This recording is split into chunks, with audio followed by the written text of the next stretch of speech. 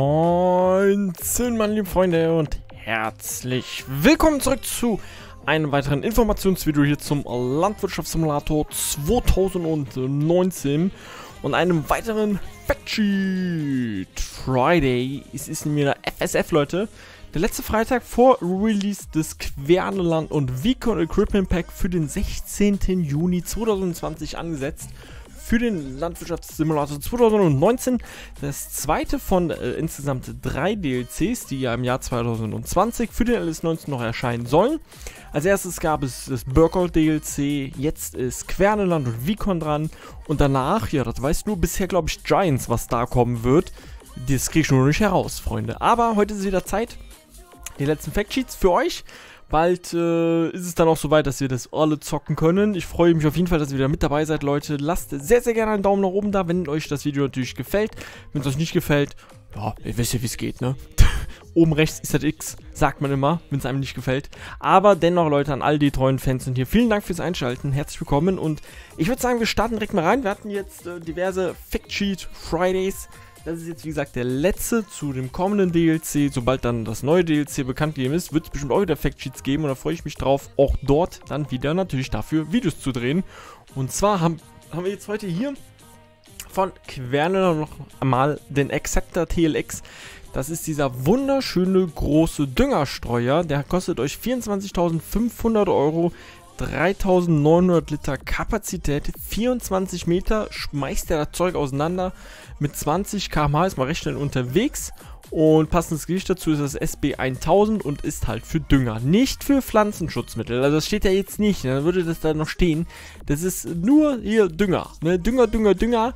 Damit könnt ihr dann eure Felder vorbereiten. Es gibt ja auch dieses Flüssigpflanzenschutzmittel und so, das kommt ja in diese andere Spitze rein. Das hatte ich euch ja schon mal gezeigt. Und hier ist es nur für Mineraldünger. Mineraldünger recht teuer, muss man dazu sagen. Ich glaube, vorne dran gespannt könnte ein 300er Fendt sein, ne? 300 oder ein 700er würde ich sagen. Auf jeden Fall mit Pflegebereifung, um natürlich nicht eure Frucht, die bereits am Wachsen ist, zu zerstören. Ist ganz coole Sache, muss ich echt sagen. Ähm, erweitert zwar nicht direkt oder bringt nicht direkt was Neues mit ins Spiel, erweitert aber das, äh, das Aufkommen an Düngerstreuern. Weil davon haben wir wirklich nicht äh, allzu viele. Ich möchte nochmal hier kurz ein Bild zeigen. Das ist dann der reine Ausschnitt davon. Es gibt natürlich auch gleich wieder ein Video zu den ganzen Optionen, die hier möglich sind. Also ein Ingame-Video. Und hier haben wir jetzt ein Seeder, einen, eine kleine Möglichkeit, um die Direktsaat aus, nein, Entschuldigung, nicht die Direktsaat, um nach dem Grubbern eine Saat wie Mais zum Beispiel auszubringen. Das sieht zwar unscheinhaft aus wie eine Sämaschine, es ist aber tatsächlich eine Sämaschine. Der hat nämlich hier vorne, wie ihr hinten seht, so ganz, ganz kleine ähm, Vorratskammern, wo ihr zum Beispiel Mais und so dann, also wo ihr dann halt eure Frucht, eure Saat reinpackt und dann Mais mit anbauen könnt. Der kostet 79.500 Euro, benötigt 145 PS, 1000 Liter gerade einmal generell. Also ich sage was ganz, ganz, ganz, ganz kleines, süßes. 1000 Liter mit 12 Meter Trotzen, 12 Meter Breite. Passend Gewicht SB 1600, 15 km/h könnt ihr mitfahren und könnt dort mit Saat ausbringen. Das bedeutet Mais, Sonnenblumen, Sojabohnen, Zuckerrüben und Baumwolle, also Cotton, ist hier mit anbaubar. Es sind halt wirklich nur 1000 Liter, weil es sind nur diese ganz kleinen Tanks, die ihr da seht. Dort kommt das Ganze nämlich rein. Hier sieht es nochmal ein bisschen besser an der Seite. Da ist nämlich diese Saat drin. Also es gibt jetzt nicht die Möglichkeit vorne einen Zusatztank oder so, sondern wirklich, das ist ein, eine Sämaschine. Sie sieht unscheinhaft, unscheinhaft aus, muss ich wirklich sagen. Ich hatte damals erst gedacht, ein grober, aber es ist wirklich eine Sämaschine für unter anderem Mais mit Spurreißer auch mit dabei. Äh, ist eigentlich eine ganz coole Sache, muss ich wirklich sagen. Und hier habt ihr jetzt zum Beispiel einen Grubber passend dazu. Mit dem könnt ihr euer Feld für so eine Sämaschine halt vorbereiten. 37.500 Euro, 177 kW, entspricht 240 PS, 5 Meter breit. Jetzt muss man überlegen, 240 PS für 5 Meter. Also schon ordentlich, ne? 15 km/h schnell, passendes Gewicht, SB 1600. Und mit dem habt ihr dann die Möglichkeit, wenn ihr zum Beispiel ein Feld habt und dieses abgeerntet habt, könnt ihr hiermit wieder losgrubbern und euer Feld für die nächste Saat vorbereiten. Dass ihr zum Beispiel dann hier die Monopil E Drive holt und dann damit Mais anbaut. Wäre natürlich Quatsch zu grubbern und dann eine Direktsämaschine zu holen. Das würde sich ähm, ja, beißen ineinander. Wenn du groberst, dann nimmst du die Direktsaat, da hast du ja grobern direkt mit drin. Da wäre es ganz schön Quatsch, dort dann das nochmal mit reinzupacken, dass ihr grobert, die Direktsaat nimmt, nochmal grobert und ansät. Wäre totaler Quatsch. Die groß, große Kombi wäre hier mit diesem Enduro Pro 5000F Grobern. Dann nehmt ihr euch die Monopil E-Drive äh, 24. Damit baut ihr Mais an unter anderem. Und dann nehmt ihr euch hier den Exacta TLX, die Düngerstreuer, um das Feld dann auch noch zu düngen. Weil der hier hat reine Saat, ne? Keine Düngerfunktion. Damit könnt ihr dann nochmal düngen. Das wäre so eine so eine typische Dreier-Kombi, um das Ganze zur Verfügung zu stellen.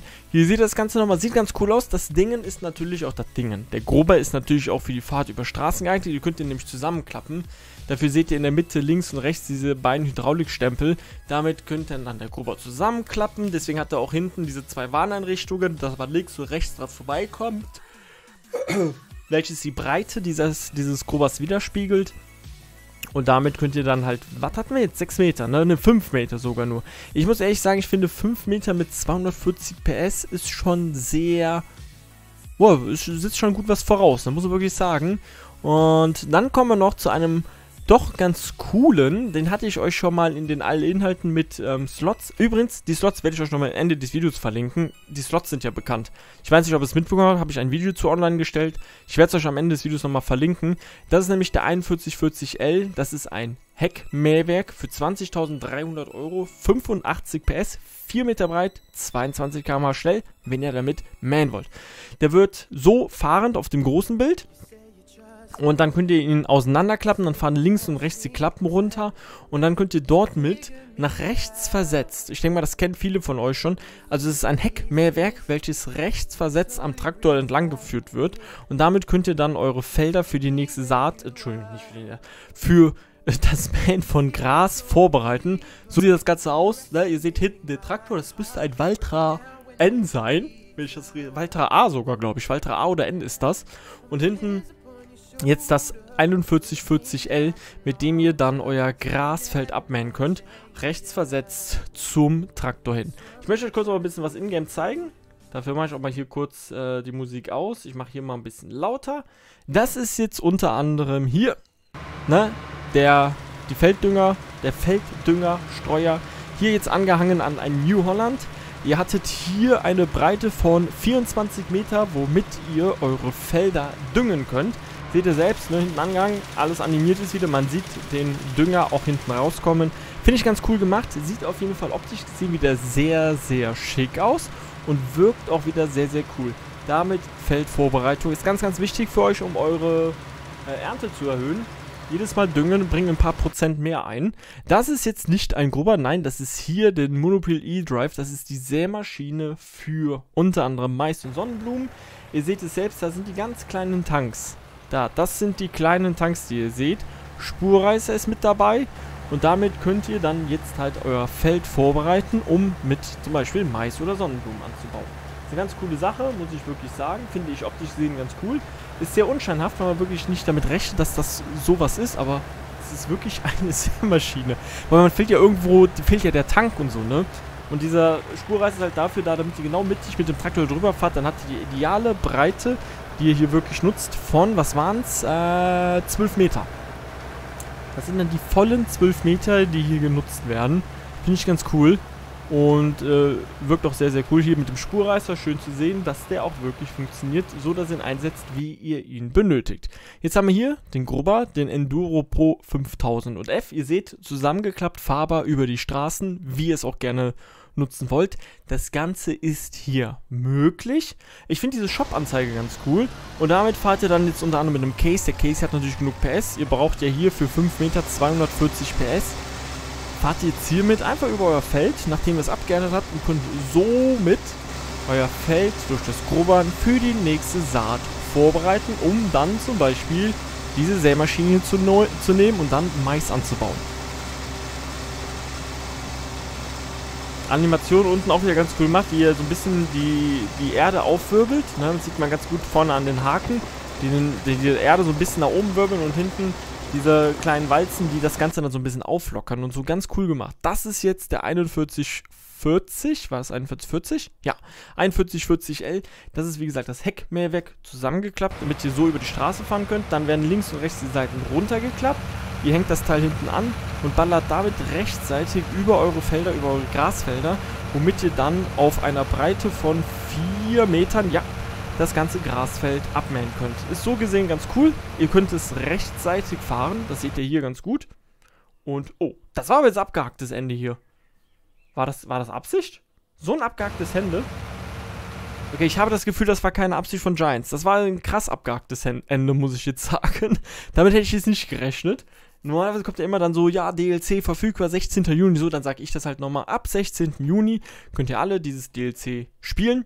Vorbestellerlink oder halt auch Link für danach zu kaufen, findet ihr in der Videobeschreibung. Es würde mich sehr freuen, wenn ihr mich unterstützt. Es kostet euch keinen Cent mehr. Ihr kriegt von Giants eine E-Mail mit einem Download-Code, könnt dann zum 16. Juni euch das downloaden für PC und Mac und könnt es dann zocken. 14,99 für das DLC kosten. Die ein oder anderen Videos gibt es natürlich hier auf meinem Kanal zu diesem DLC, dass ihr euch schon mal, bevor ihr es kauft, nochmal ein paar Eindrücke holen könnt. Und ansonsten, Leute, waren das die letzten Factsheets. Ich hoffe, es hat euch gefallen. Ich hoffe, wir sehen uns beim nächsten Video, beim nächsten Livestream oder halt bei der Präsentation hier vom Querneland und Wecom Equipment Pack. Ich wünsche euch schon einen schönen Tag. Vielen Dank fürs Zuschauen. Bis zum nächsten Mal. Tüdelü und tschüss.